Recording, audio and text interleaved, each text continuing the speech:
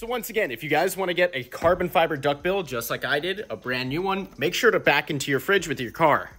As you guys may recall, I accidentally backed into my garage fridge with the Camaro, destroying my wicker bill right here on the spoiler. This is exactly what I'm talking about. It wasn't my best moment.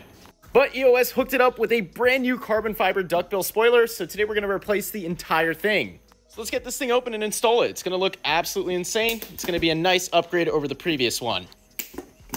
All right, I gotta give you all a sneak peek of that carbon fiber. Oh my god.